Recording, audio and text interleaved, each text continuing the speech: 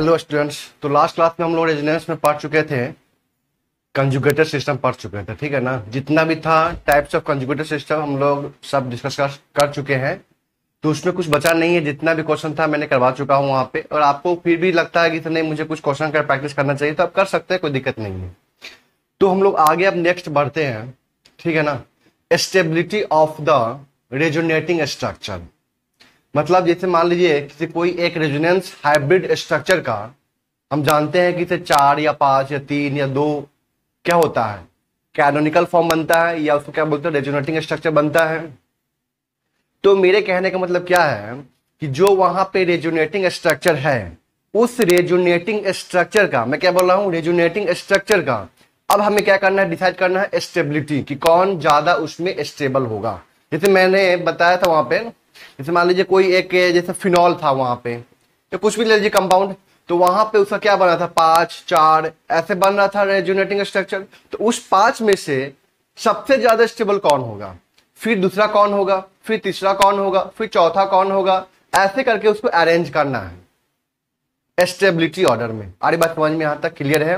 देखिए दोस्तों यहाँ पे हम लोग बात करने जा रहे हैं यहाँ पे क्या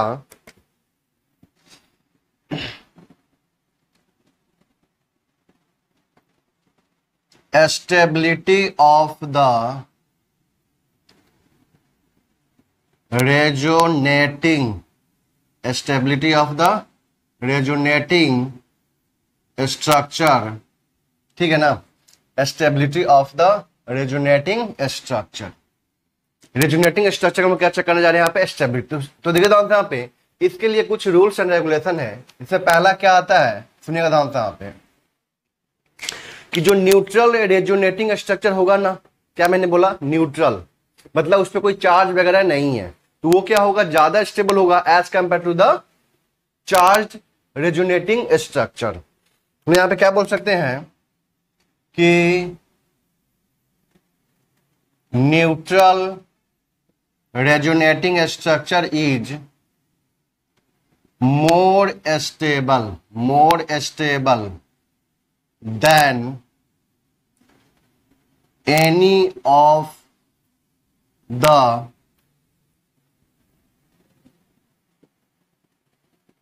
any of the charged resonating structure जो न्यूट्रल रेजुनेटिंग स्ट्रक्चर होगा ना वो क्या होगा ज्यादा स्टेबल होगा किसी भी चार्ज रेजुनेटिंग स्ट्रक्चर से फॉर एग्जाम्पल ये पे R C double bond O O H ठीक है फिर इसका हम लोग बना रहे हैं double bond O H O पे आ जा पॉजिटिव चार्ज देखिए दोस्तों यहां पे इस दोनों में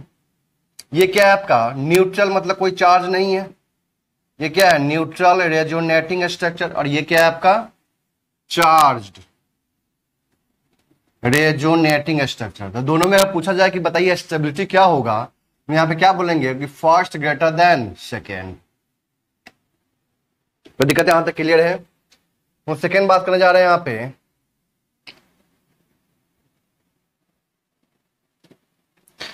the resonating structure having complete octet the resonating structure having complete octet is always more stable is always more stable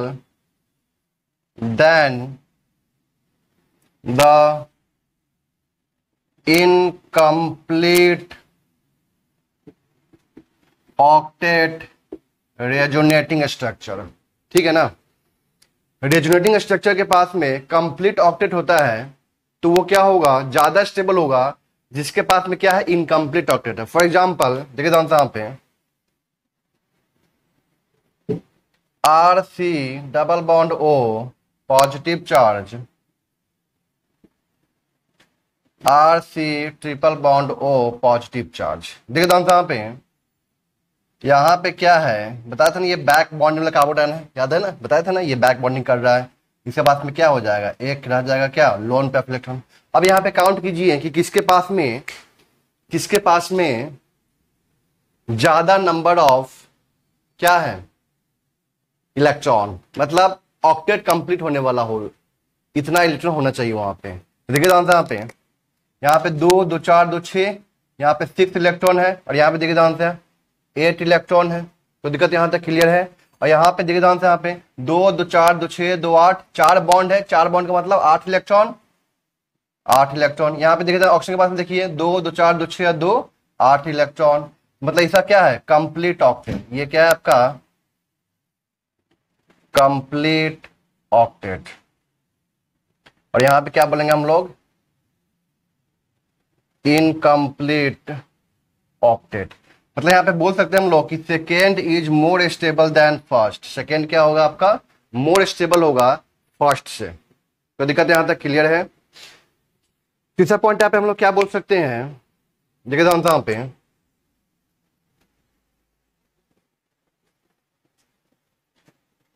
the resonating structure having more number of covalent bond. The regenerating structure having more number of covalent bond is always more stable more stable than resonating structure having less number of covalent bond अरे बात समझ में resonating studies के पास में क्या है more number of covalent bond है वो क्या होगा आपका मोर स्टेबल होगा जिसके पास में क्या है less number of covalent bond है जाहिर सी बात है जिसके पास में नंबर ऑफ बॉन्ड ज्यादा होगा तो उसका एनर्जी कम होगा एनर्जी कम होगा मतलब उसका स्टेबिलिटी ज्यादा होगा क्लियर यहां तक यहीं पे देख लीजिए ना यहाँ पे कितने बॉन्ड है दो और एक तीन ही बॉन्ड है और यहाँ पे कितना है तीन और एक चार बॉन्ड है मतलब ऐसे भी ज्यादा स्टेबल है और ये ऐसे भी ज्यादा स्टेबल है इस रूल के अनुसार भी ये ज्यादा स्टेबल है और इस रूल के अनुसार ये भी ये ज्यादा स्टेबल है तो दिक्कत यहाँ तक क्लियर है तो ये तीनों पॉइंट क्लियर है यहाँ तक आगे बढ़े हम लोग हम लोग देखते हैं यहाँ पे फोर्थ पॉइंट निदान यहाँ पे फोर्थ पॉइंट क्या है ये तीनों पॉइंट क्लियर है आप लोगों को कोई दिक्कत नहीं है इसमें ठीक है आगे हम लोग बढ़ रहे हैं फोर्थ पॉइंट में क्या है फोर्थ पॉइंट सुनिएगा ध्यान से वहां पे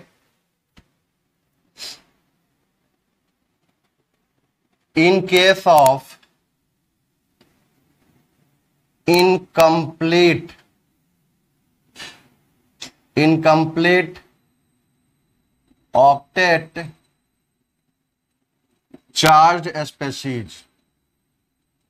In case of incomplete octet charged species,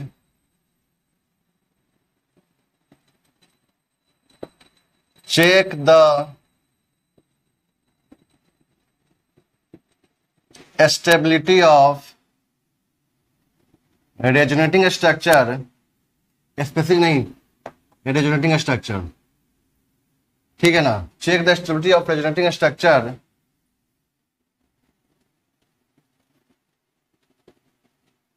according to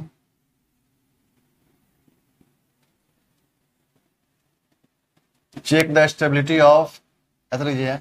check the stability of charge in resonating structure according to their size or electronegativity तो यहाँ पे ये बोल रहा है कि incomplete octet resonating structure incomplete octet charge resonating structure में हम लोग बात कर रहे हैं मतलब उसका क्या है ऑक्टेट भी इनकम्प्लीट है और उस पर क्या है चार्ज है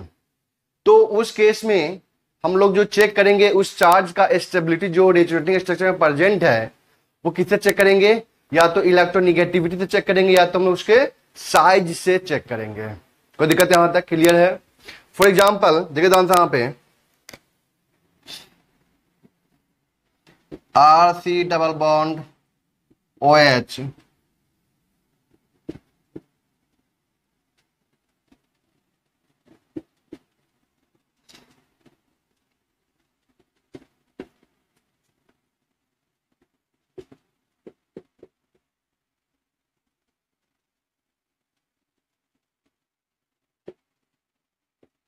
मान लीजिए ये चार आपको दिया गया है रेजोनेटिंग स्ट्रक्चर ठीक है ना इससे आपको चेक करना है कि कौन ज्यादा स्टेबल है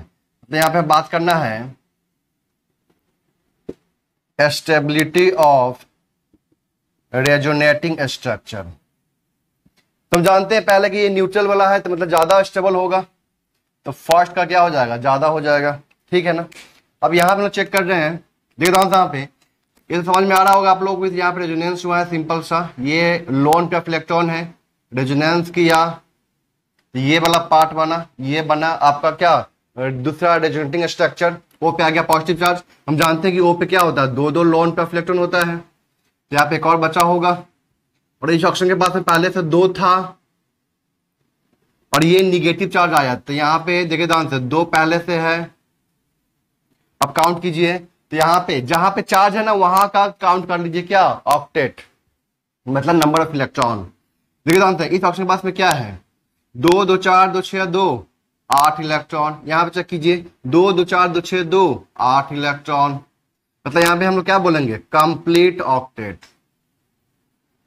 कंप्लीट ऑक्टेट मतलब क्या हो जाएगा यहाँ पे सेकेंड का ज्यादा हो जाएगा अब यहां पे चेक करते हैं तो यहाँ पे क्या है सिंपल सा क्या हुआ है कि तो इस बॉन्ड को तोड़ दिए हैं वो स्ट्रक्चर देखने में क्या लग रहा है इस इस ऑप्शन पे तो कुछ नहीं आया है मतलब यहाँ पे जो पाई बॉन्ड है उसको तोड़ दिए हम लोग कैसे तोड़े हैं वो जो स्ट्रक्चर ड्रॉ किया हुआ है कैसे किया गया देखे जाओ यहाँ पे इस पाई बॉन्ड को हम शिफ्ट कर दिया क्या ओ के ऊपर तो ओ पे क्या आ गया निगेटिव सी पे क्या आ गया पॉजिटिव चार्ज ठीक है इसका मतलब यहाँ भी क्या है आपके पास अभी दो दो लोन पे इलेक्ट्रॉन प्रेजेंट है मतलब यहाँ पे आठ इलेक्ट्रॉन है बट इस कार्बन पे चेक कीजिए दो दो चार दो छ इलेक्ट्रॉन है कोई दिक्कत है यहां तक यहां पे देखते हैं हम लोग अब यहाँ पे क्या है कि तो ये बॉन्ड नीचे की तरफ शिफ्ट कर दिया गया है नीचे की तरफ शिफ्ट कर, कर दिया गया है पाई बॉन्ड को जिसकी वजह से ओ पे क्या आ गया है पॉजिटिव चार्ज सी पे क्या आ गया है निगेटिव चार्ज चेक कीजिए तो ये जो है आपका क्या कार्बन आयन बताया था ना कार्बन आयन तीन बॉन्ड होता है और एक लोन पे इलेक्ट्रॉन होता है तीन बॉन्ड मतलब छह इलेक्ट्रॉन दो आठ इलेक्ट्रॉन यहाँ पे इसके पास में दो तो होगा ना अभी भी कितना हो गया दो दो चार दो छह इलेक्ट्रॉन कहने मतलब क्या है कि तो यहां पे कंप्लीट ऑक्टेट है ये दोनों में क्या है इनकम्प्लीट ऑक्टेट है ये दोनों क्या है आपका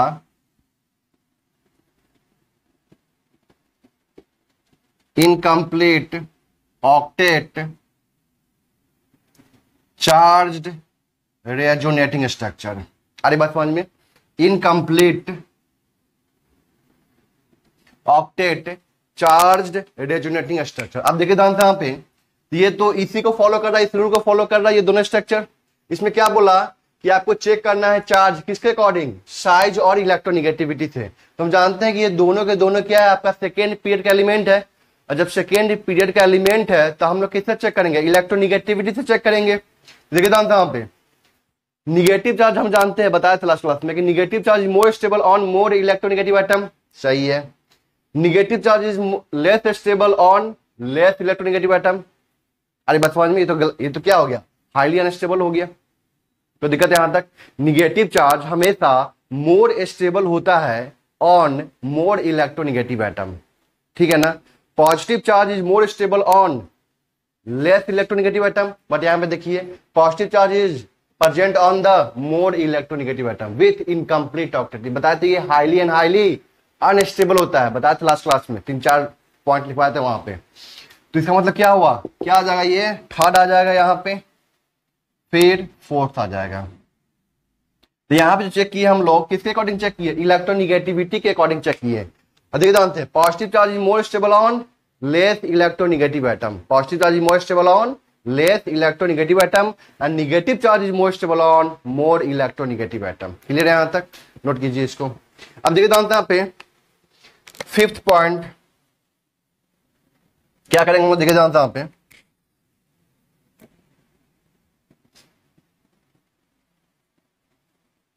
if the distance between the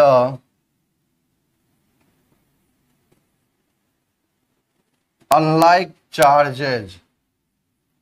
if the distance between unlike charges decreases then if the distance between the unlike charges decreases then stability of resonating structure increases ठीक है सिक्स पॉइंट क्या लिखेंगे if the distance between the like charges decreases then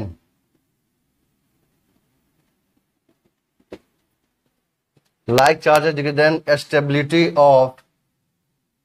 resonating structure decreases इस दोनों point को मैं समझा रहा हूं अभी ठीक है ना सुन नोट कीजिए पहले सिद्धांत यहां पे ये जो दोनों पॉइंट है तो मैं समझा रहा हूं यहां पे समझिए चीज को तो मान लेते हम यहां पे क्या मैं पहले बात कर रहा हूं यहां पे अनलाइक चार्जेज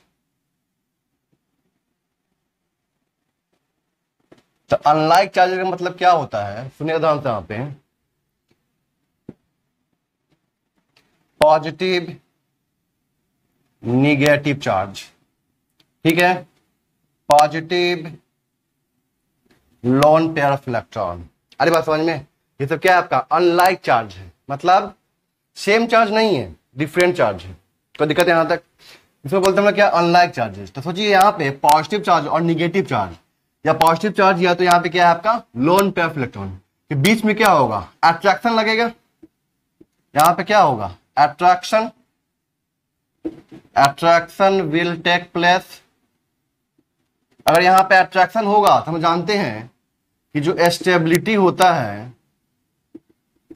वो इंक्रीज करता है why because potential energy decreases क्योंकि यहां पे क्या होता है पोटेंशियल एनर्जी क्या करता है डिक्रीज करता है ठीक है ना तो यही पे बोला कि मान लेते हैं कि यहां पे पॉजिटिव चार्ज है ठीक है ना और यहां पे पहला रेजुनेटिंग स्ट्रक्चर में पॉजिटिव यहां पे है और निगेटिव चार्ज यहां पे है डिस्टेंस ज़्यादा है ठीक है ना अब क्या हो रहा है कि जब पॉजिटिव चार्ज सेकेंड में यहाँ पे है निगेटिव चार्ज यहाँ पे है सेकेंड में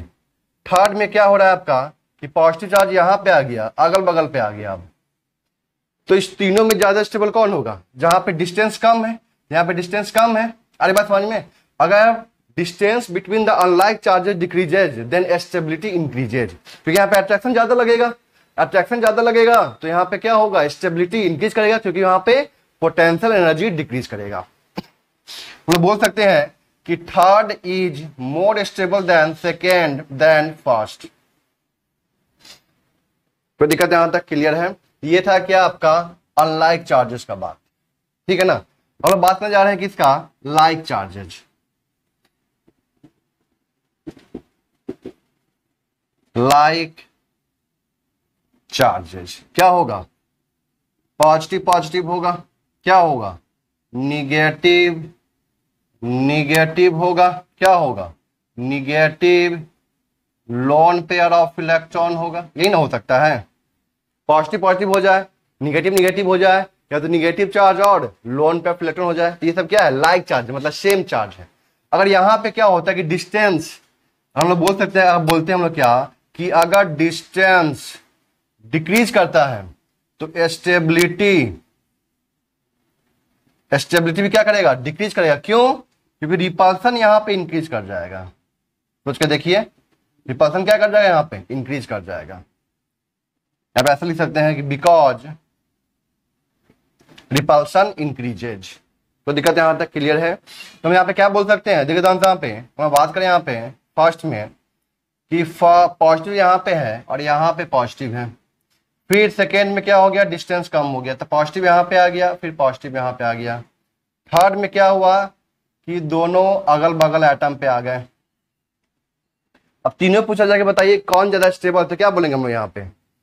first is most stable than second second is most stable than third क्योंकि यहाँ पे रिपल्सन ज्यादा होगा स्टेबिलिटी कम हो जाएगा तो यहाँ पे क्या बोल सकते हैं first greater than second greater than third तो दिक्कत यहाँ तक क्लियर है इसको नोट कीजिए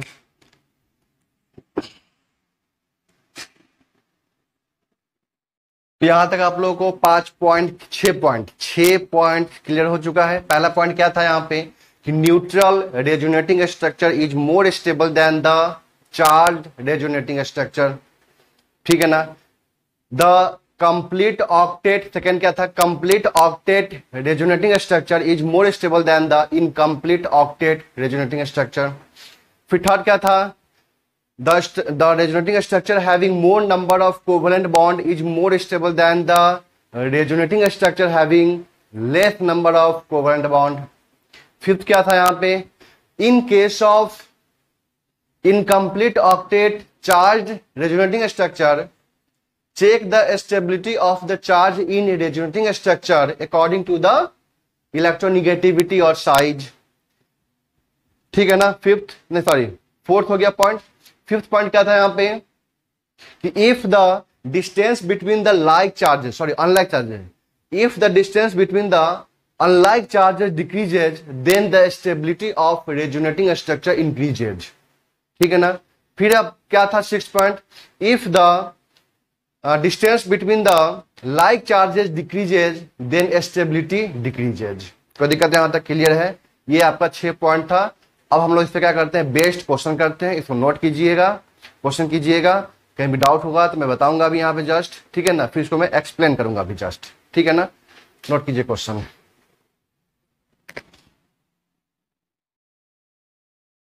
तो चलिए आप लोग क्वेश्चन कर लिए होंगे मिलाइए यहाँ पे देखिए दान यहाँ पे ये फर्स्ट ले लीजिए सेकेंड थर्ड फोर्थ फिफ्थ तो देखिए जानते हैं पे फर्स्ट और जो फिफ्थ है वो क्या है न्यूट्रल है ठीक है ना तो हम लोग बोल सकते हैं कि first is equal to fifth दोनों का क्या होगा स्टेबिलिटी सेम होगा अब देख दान यहाँ पे यहाँ पे पॉजिटिव यहाँ पे negative positive negative positive negative तो ये देख दान पॉजिटिव निगेटिव यहाँ पॉजिटिव निगेटिव डिस्टेंस ज्यादा हो गया ना तो ये कम स्टेबल होगा ये ज्यादा स्टेबल होगा लेकिन टू और फोर्थ दोनों का डिस्टेंस सेम है दोनों सेम है अरे बात समझ में यहां पर क्या बोल सकते हैं कि two is equal to fourth अब लास्ट में क्या हो जाएगा यहां पे थर्ड वन फिफ्थ इक्वल क्यों हुआ क्योंकि दोनों सेम है अरे बस समझ में दोनों दोनों क्या है न्यूट्रल मॉलिक्यूल है टू और फोर्थ से का स्टेबिलिटी सेम क्यों हुआ क्योंकि ये भी दोनों के दोनों क्या है डिस्टेंस सेम है यहाँ पे इसलिए सेम स्टेबिलिटी का हुआ क्या रेजोनेटिंग स्ट्रक्चर फिर लास्ट में क्या हो गया थर्ड अब यहाँ पे चेक कीजिए ये न्यूट्रल है तो वन का मतलब बोल रहे हैं कि ज़्यादा स्टेबल होगा वन वाला अब यहाँ पे देखिए यहाँ पे यहाँ पे सारे आइटम का ऑक्टेट कंप्लीट है चेक कीजिए आपको रेजोनेटिंग स्ट्रक्चर ड्रॉ करने आता है ना कीजिए ना देखिए था यहाँ पे यही तो बनाया हुआ है चेक कीजिए वहां पे तो इस पे इसके पास पहले से क्या था दो लोन पे ऑफ इलेक्ट्रॉन था तो होगा यहाँ पे अभी भी दो लोन पे ऑफ इलेक्ट्रॉन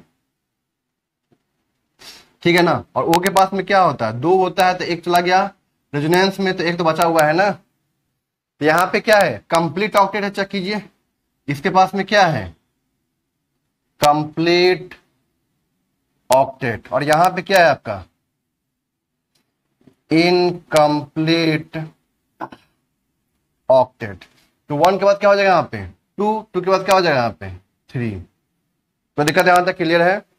आगे देखिए ध्यान से यहाँ पे न्यूट्रल है तो मतलब वन वाले का ज्यादा होगा जाहिर सी बात है फिर ये रेजुनेंस किए हुए चेक कीजिए यहां भी क्या है कंप्लीट ऑक्टेट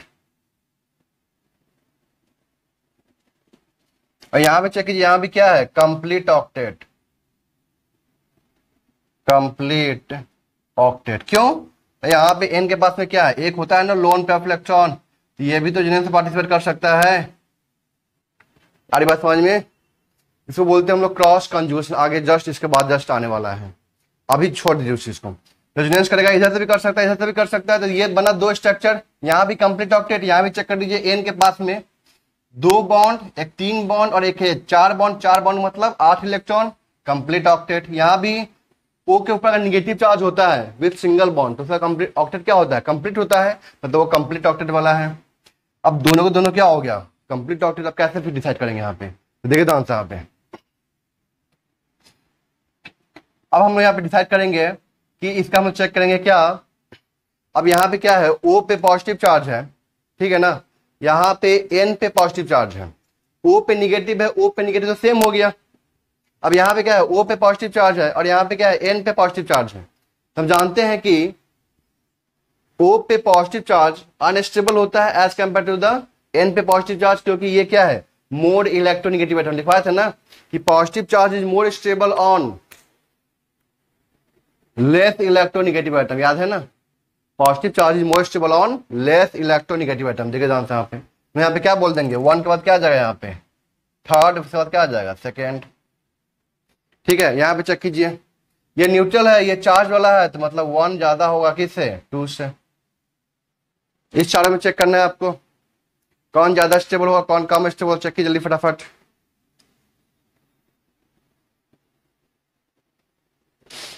सीधा आंसर यहाँ पे फर्स्ट में चेक कीजिए एन के पास पता है ना क्या होता है lone pair of electron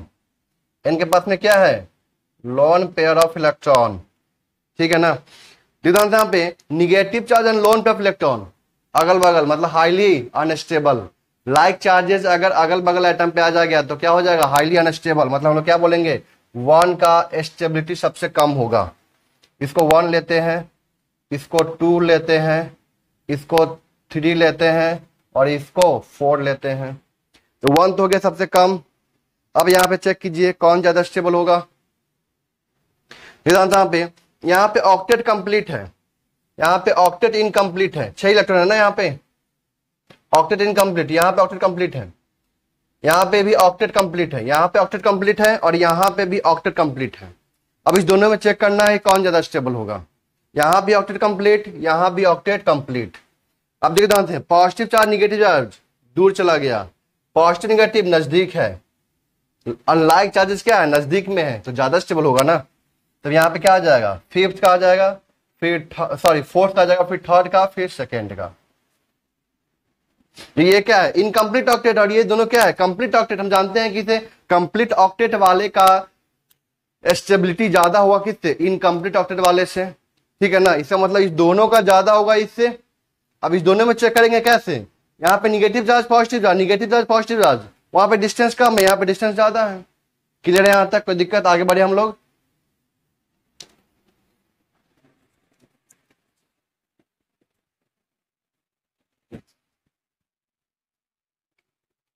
तो यहाँ तक आप लोग को बात क्लियर हो चुकी है stability of the resonating structure कैसे निकालते हैं क्लियर हो चुका है हम लोग आगे बढ़ते हैं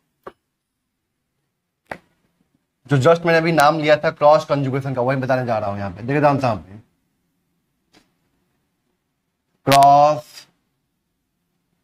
conjugation and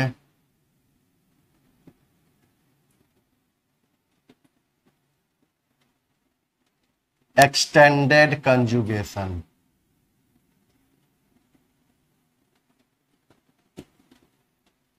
cross conjugation and extended conjugation ठीक है ना देखते दो यहाँ पे क्या होता है क्रॉस कंजुगेशन समझते हैं चीज को हम लोग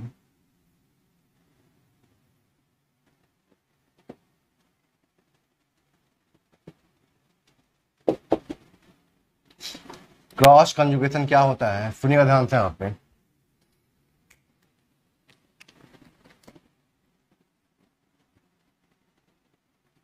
when a particular when a particular group is in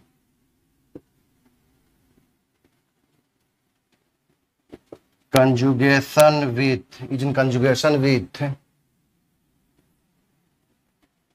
other two groups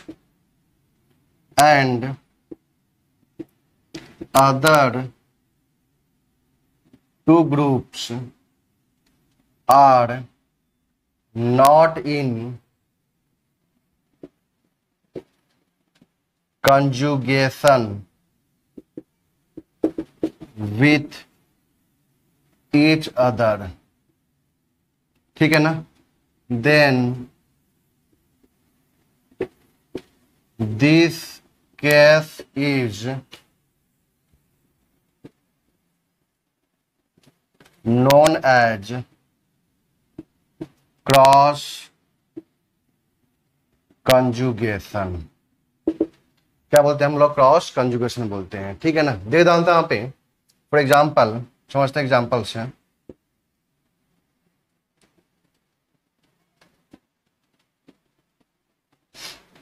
यह है यहां पे ठीक है ना दे डालते हैं यहां पे ये एक पार्टिकुलर ग्रुप ये जो ग्रुप है ना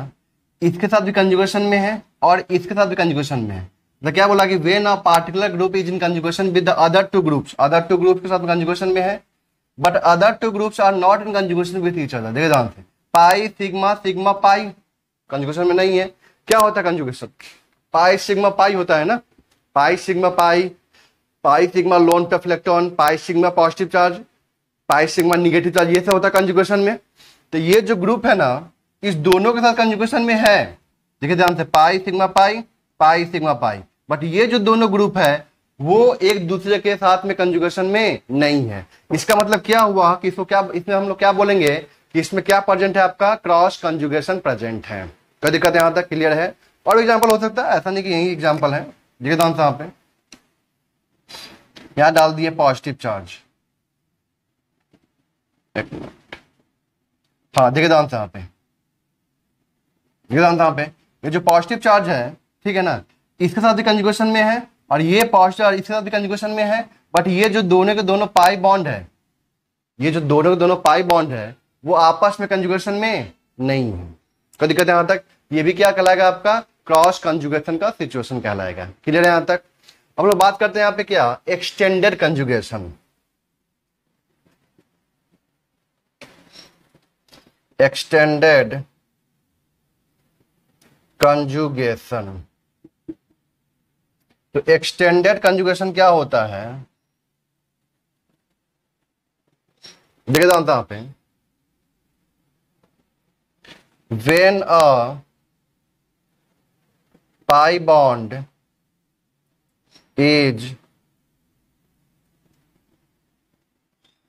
delocalized in the same direction. When a pi bond is delocalized in the same direction, then pi bond is like the pi electron. When a pi electron is delocalized in the same direction, then then this is called extended conjugation उसको क्या बोलते हैं हम लोग extended conjugation बोलते हैं ठीक है ना देखे जानते हैं आप एग्जाम्पल के तौर पर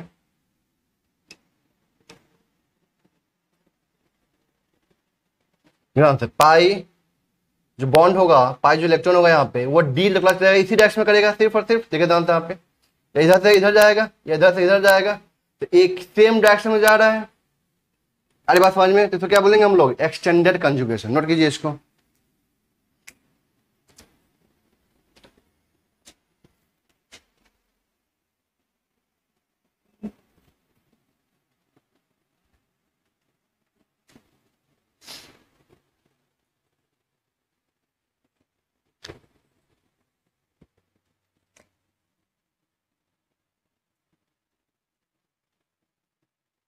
पेयर होगा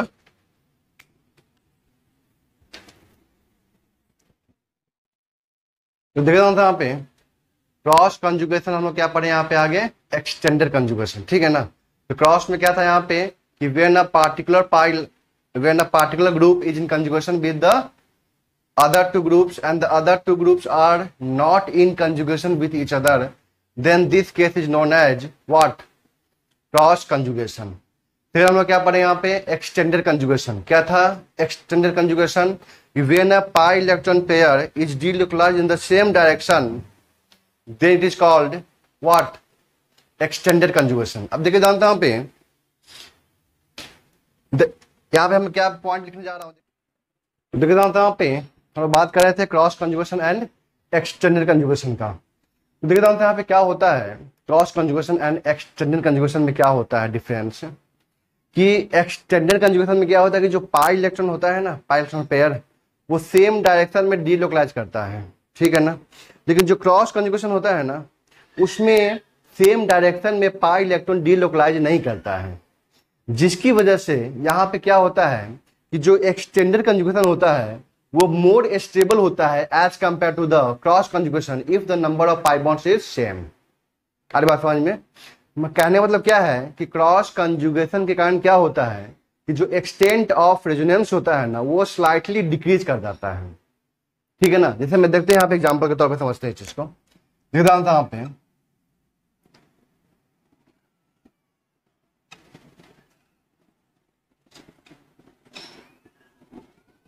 अगर आपसे पूछा जाए इसमें बताइए कि कौन ज्यादा स्टेबल है तो यहाँ पे क्या होगा कि ये ज्यादा स्टेबल हो कौन एक्सटेंडेड कंजुगेशन एक्सटेंडेड कंजुगेशन ठीक है ना और ये क्या है आपका क्रॉस कंजुगेशन ठीक है ना जिदान से यहां पे क्या होता है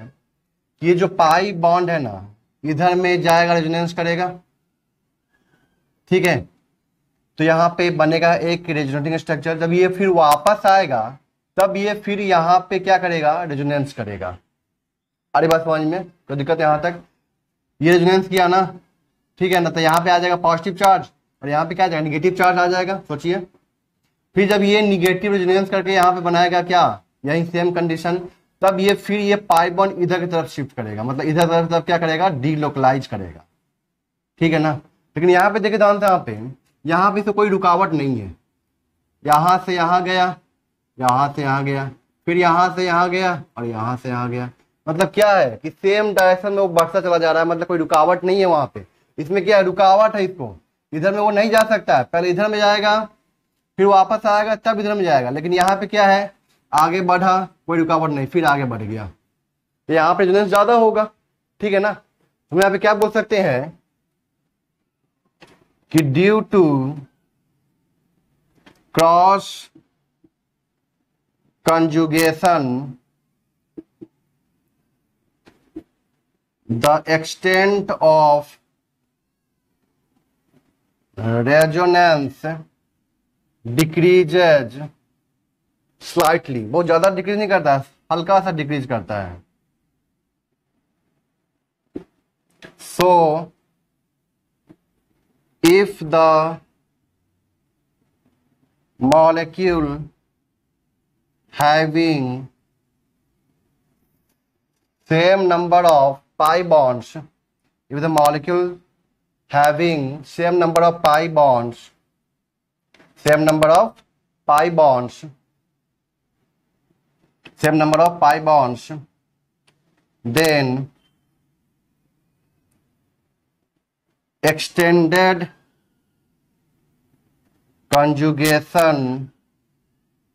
is more stable then cross conjugation ठीक है ना मतलब क्रॉस कॉन्जुगेशन कारण क्या होता है कि जो एक्सटेंट ऑफ रेजिडेंस होता है ना वो स्लाइटली क्या होता है डिक्रीज कर जाता है ठीक है ना इस वजह से क्या हुआ अगर मॉलिक्यूल के पास में अगर सेम नंबर ऑफ पाइबॉन्ड होगा तो वहां पे क्या होगा कि क्रॉस कंजुगेशन का स्टेबिलिटी स्लाइटली डिक्रीज कर जाएगा as compare to the extended conjugation तो दिक्कत यहां तक क्लियर है अगर हम यहां पे बात करें स्टेबिलिटी ऑर्डर का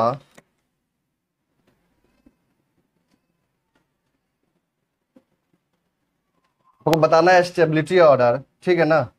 मैंने पहला यहाँ पे क्वेश्चन लिया यहाँ पे क्या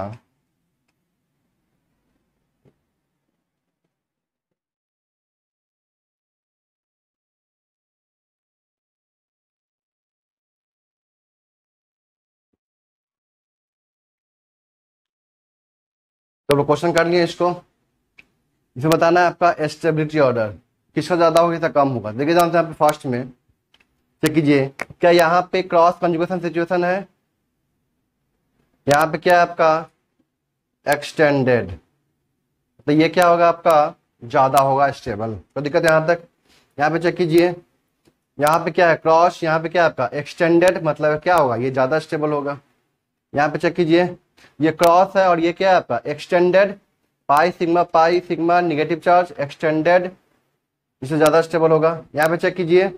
एकदम से सब में यहाँ पे क्या है नंबर ऑफ पाई बॉन्ड क्या है सेम है चेक कीजिए यहाँ पे बट देखिए से यहाँ पे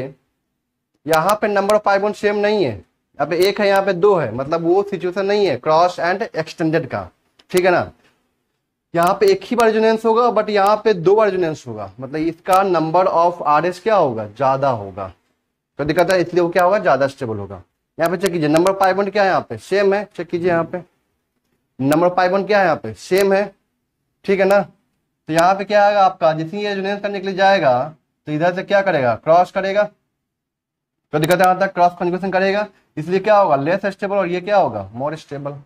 number of pi bond same होना चाहिए if the molecule having same number of pi bond then extended conjugation is more stable than cross conjugation तो दिक्कत यहाँ तक क्लियर है नोट कीजिए चलिए हम लोग आगे बढ़ते हैं अब यहाँ पे एक टर्म है यहाँ पे इक्वेलेंट रेजोनेंस इक्विवेलेंट रेजोनेंस देखिए जानते यहाँ पे इक्वेंट रेजोनेंस क्या होता है सुनिएगा जानते हैं यहाँ पे समझ लेते हैं definition it is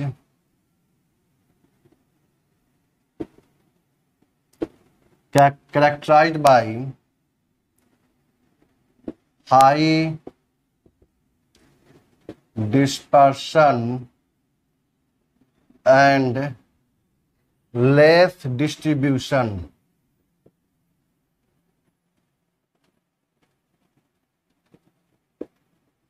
less distribution of charge when all the resonating structure exactly identical is known as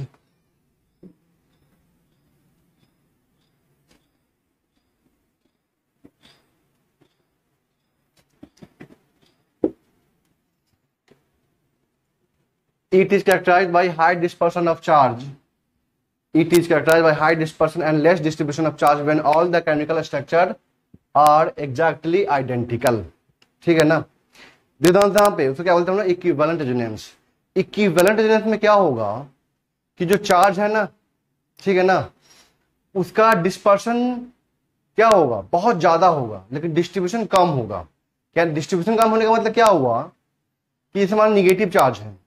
अगर negative charge more electronegative atom present है ठीक है ना negative charge more electronegative atom में प्रेजेंट है ठीक है ना और वो भी कितने पे दो पे और एक निगेटिव चार्ज है जो दस कार्बन एटम में प्रेजेंट है तो वहां पे क्या है कि निगेटिव चार्ज का डिस्ट्रीब्यूशन बहुत ज्यादा हो रहा है अरे बात समझ में लेकिन यहाँ पे जो निगेटिव चार्ज है उसका डिस्ट्रीब्यूशन बहुत कम हो रहा है बहुत कम हो रहा था क्या डिस्ट्रीब्यूशन लेकिन यहाँ पे जो डिस्पर्सन है वो बहुत ज्यादा हो रहा है डिस्पर्सन ज्यादा का मतलब क्या होता है कि वो हाईली इलेक्ट्रोनिगेटिव आइटम पे क्या है निगेटिव चार्ज प्रेजेंट है और ये कब होगा जब all the resonating structure are exactly identical ठीक है ना मैं एग्जाम्पल से समझाता हूँ चीज को जाऊँ तो यहाँ पे एग्जाम्पल लेते हूँ यहाँ पे C S three C double bond O open negative ठीक है इसका हमने ड्रॉ किया रेजुनेटिंग स्ट्रक्चर तो open negative double bond O check कीजिए ये दोनों के दोनों क्या एग्जैक्टली आइडेंटिकल है ये क्या है आपका एग्जैक्टली आइडेंटिकल ठीक है ना यहां पे देख रहा हूं यहां पे डिस्ट्रीब्यूशन कम हुआ है less distribution of charge but high dispersion of charge कहने मतलब क्या है कि डिस्ट्रीब्यूशन कम है मतलब कम एटम पे वो डिस्ट्रीब्यूट किया है दो ही एटम पे डिस्ट्रीब्यूट किया है लेकिन दो ही एटम पे जो डिस्ट्रीब्यूट किया है ना वो उतना ज्यादा उसको स्टेबल कर रहा है कि उसको दस एटम की जरूरत ही नहीं पड़ रही है आर्य बात समझ में जैसे निगेटिव चार्ज है एक निगेटिव चार्ज क्या है कि कार्बन एटम के ऊपर प्रजेंट है और एक निगेटिव चार्ज क्या है कि मोर इलेक्ट्रोनिगेटिव एटम प्रजेंट है लेकिन वो दो ही एटम में प्रजेंट है और वही निगेटिव चार्ज दस कार्बन एटम पे प्रजेंट है ठीक है ना तो वहां पे डिस्ट्रीब्यूशन ज्यादा है अरे बात समझ में वहां पे डिस्ट्रीब्यूशन ज्यादा है बट उसका स्टेबिलिटी उतना ज्यादा नहीं है क्यों क्योंकि जो ऑक्सीजन जो यहाँ पे मोर इलेक्ट्रोनिगेटिव एटम है वो क्या कर रहा है उस निगेटिव चार्ज को इतना ज्यादा स्टेबिलिटी प्रोवाइड कर रहा है जितना कि दस कार्बन मिल के भी नहीं कर पा रहा है उस निगेटिव चार्ज को स्टेबिलिटी प्रोवाइड अरे बात समझ में आता क्लियर है इसलिए कहा जाता है कि अगर दोनों के दोनों जो रेजुनेटिंग स्ट्रक्चर है अगर आइडेंटिकल होते हैं सेम होते हैं तो वहां पे क्या होगा कि जो निगेटिव चार्ज है निगेटिव अगर मान लो कि तो मोर इलेक्ट्रोनिगेटिव एटम प्रेजेंट है तो उसका वहां पे अगर डिस्ट्रीब्यूशन कम भी है लेकिन वहां पे डिस्पर्सन क्या है बहुत ज्यादा है तो उसको क्या बोलते हैं हम लोग इक्विवेलेंट रेजुनेटिंग स्ट्रक्चर बोलेंगे और इक्विवेलेंट रेजुनेटिंग स्ट्रक्चर में जो एक्सटेंट ऑफ रेजुनेंस होगा वो बहुत ही ज्यादा होगा हम यहाँ पे एक पॉइंट और भी बोल, बोल सकते हैं क्या the extent of resonance in equivalent resonating structure. The extent of resonance in equivalent resonating structure is much greater. So its stability also increases इसलिए इसका स्टेबिलिटी क्या होगा इंक्रीज करेगा कोई दिक्कत यहां तक क्लियर है फॉर एग्जाम्पल मैं आपको बताता हूं यहां पे जैसे मान लेते हम लोग क्या कि आपको यहां बताना है स्टेबिलिटी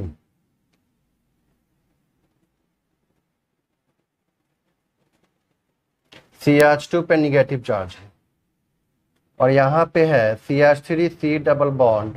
O पे निगेटिव चार्ज ठीक है ना अब देखते हैं यहाँ पे जब ये निगेटिव चार्ज रेजोनेंस करेगा तो पहले यहाँ पे आएगा फिर यहाँ पे आएगा फिर यहाँ पे आएगा फिर वापस यहाँ पे आ जाएगा तो इस तरह से वो क्या है कि चार पांच कार्बन आइटम पे वो क्या कर रहा है डीलोकलाइज कर रहा है डिस्ट्रीब्यूट हो रहा है लेकिन यहाँ पे जो निगेटिव चार्ज है सिर्फ और सिर्फ यहाँ से उठ के यहाँ पे आ जाएगा तो यहाँ पे डिस्ट्रीब्यूशन कम है यहाँ पे निगेटिव चार्ज का डिस्ट्रीब्यूशन कम है लेकिन वो उसका डिस्पर्सन ज्यादा है डिस्पर्सन ज्यादा का मतलब क्या कि निगेटिव चार्ज जो है वो मोर इलेक्ट्रोनिगेटिव एटम पे रेजोनेंस करके दोबारा जा रहा है बट ये क्या है निगेटिव चार्ज हम जानते हैं कि negative charge is more stable on more electronegative atom not in the less electronegative atom भले ही यहाँ पे रेजोनेंस हो रहा है रेजोनेंस है बट यहाँ पे इसका डिस्ट्रीब्यूशन बहुत ही कम है यहाँ पे डिस्ट्रीब्यूशन सॉरी यहाँ पे डिस्ट्रीब्यूशन बहुत ज्यादा है यहाँ पे डिस्ट्रीब्यूशन कम है बट यहाँ पे डिस्पर्सन कम है यहाँ पे डिस्पर्सन ज्यादा है तो दिक्कत यहां तक क्लियर है डिस्पर्सन ज्यादा का मतलब क्या हुआ कि negative charge more is more electronegative atom पे फिर से दोबारा रेजुनेंस करके आ रहा है क्लियर है यहां तक इसको क्या बोलते हैं हम लोग इक्विवेलेंट रेजुनेटिंग स्ट्रक्चर इसमें क्या हम लोग बोलेंगे इसमें क्या है इक्विवेलेंट रेजुनेस है इक्विवेलेंट रेजोनेंस का जो एक्सटेंट ऑफ रेजोनेंस होगा ना वो बहुत ही ज्यादा होगा ठीक है ना जिसकी वजह से वहां पे स्टेबिलिटी इसका क्या होगा बहुत ज्यादा इंक्रीज करता है अचानक से इसलिए बोल सकते हैं कि ये क्या होगा मोर स्टेबल होगा तो दिक्कत यहां तक क्लियर है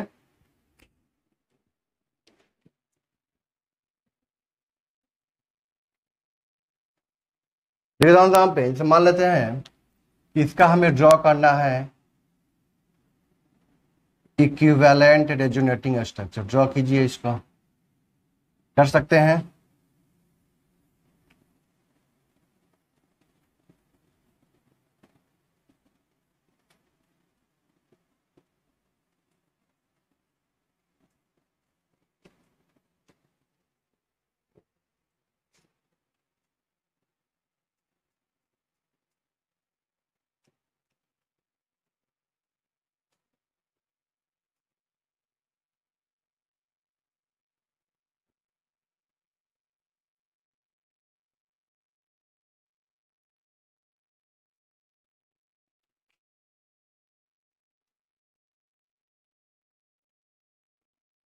यहाँ पे अगर हम इसका ड्रॉ करेंगे equivalent resonating structure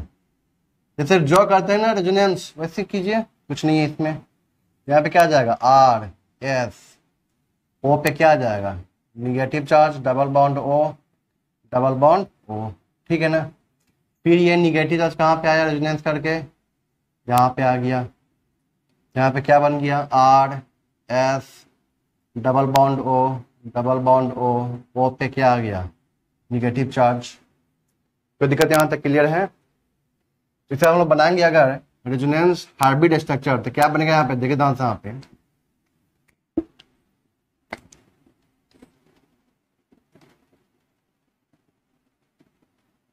R S partial double bond delta negative delta negative और यहाँ पे क्या आ जाएगा आपका डेल्टा निगेटिव ठीक है ना जैसे कहता हूँ यहाँ पे निगेटिव तो कहाँ प्रजेंट है मोर इलेक्ट्रोनिगेटिव आइटम पे मतलब वहां पे क्या है हाई डिस्पर्सन है लेकिन डिस्ट्रीब्यूशन कम है तीन ही आइटम पे ऑक्सीजन आइटम तीन ही ऑक्सीजन आइटम पे आया क्या आया निगेटिव चार्ज आया तो वहां पर डिस्ट्रीब्यूशन कम है लेकिन डिस्पर्सन ज्यादा है यहाँ पे दे रहा हूँ तो यहाँ पे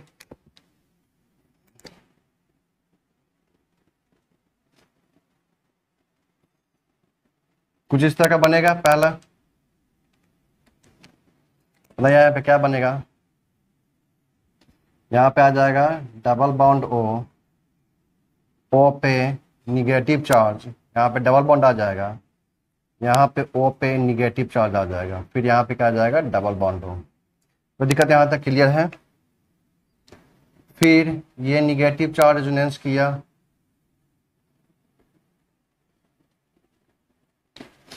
बताइए यहाँ पे क्या बन गया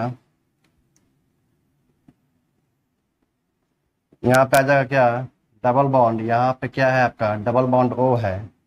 यहाँ पे डबल बॉन्ड ओ आ गया यहाँ पे ओ पे निगेटिव आ गया और यहाँ पे ओ पे निगेटिव आ गया ठीक है इसके बाद यहाँ पे फिर क्या होगा रेजोनेंस किया बताइए यहाँ पे क्या बनेगा डबल बॉन्ड ओ पे negative double bond O double bond O O पे निगेटिव जब आगे रेजिडेंस हो पाएगा चेक कीजिए और यहाँ से करते हैं हम लोग तो फर्स्ट वाला बन जाएगा चेक कीजिए तो यहाँ से करते हैं कौन सा बन जाएगा ये वाला बन जाएगा मतलब यहाँ पे अब आगे नहीं बन पाएगा यहाँ पे कितना बना चार ठीक है ना यहाँ पे कितना बना तीन क्लियर है तो दिक्कत यहाँ तक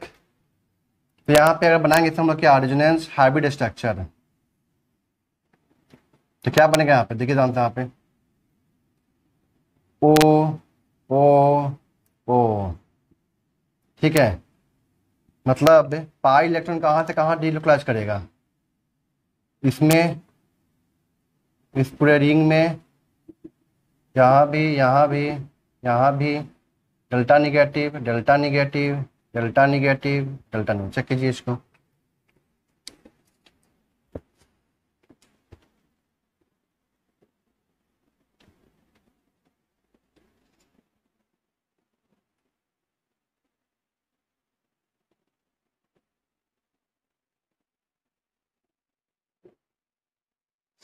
ठीक है यहां तक यहां पे कितना बना आपका फोर इक्विवेलेंट रेजोनेटिंग स्ट्रक्चर और यहां पे कितना बना थ्री इक्विवेलेंट रेजोनेटिंग स्ट्रक्चर ठीक है ना तो दिक्कत यहां तक यहाँ पे चेक कीजिए टेन के पास यहाँ पे क्या है लोन पेफ्लेक्ट्रॉन रेजोनेंस किया तो यहां पे क्या बनेगा two C H two double bond two पे पॉजिटिव चार्ज फिर यहाँ पे रेजुनेंस किया एन पे positive charge double bond C N H two N H two ठीक है ना क्लियर यहाँ तक मैं बात करेंगे यहाँ पे क्या रेजोनेंस हाइब्रिड स्ट्रक्चर का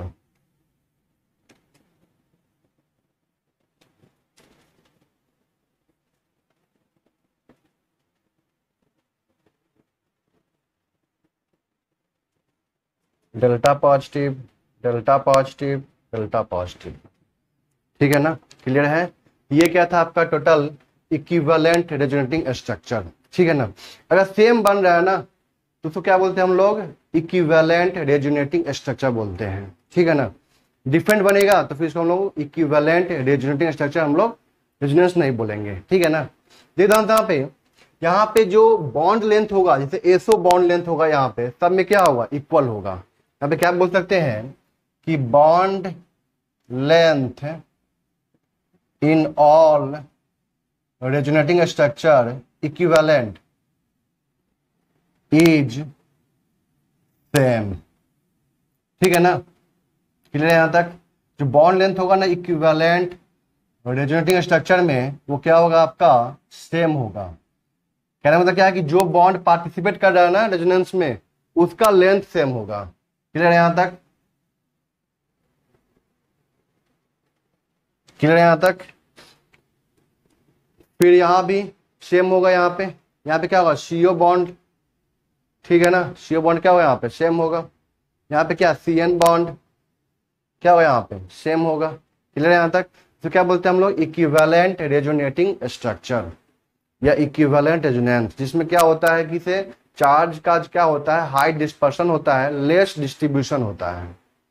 ठीक है ना तो दिक्कत है यहाँ तक जब सारे जब सारे रेजुनेटिंग स्ट्रक्चर क्या होते हैं एग्जैक्टली सेम हो जाते हैं तो क्या बोलते हैं हम लोग इक्विवेलेंट एजुनेम्स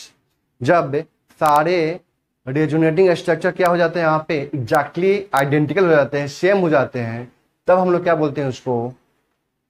इक्विवेलेंट रेजुनेंस बोलते हैं कोई दिक्कत यहाँ तक क्लियर है यहाँ तक पढ़िए आप लोग फिर वो नेक्स्ट क्लास में करेंगे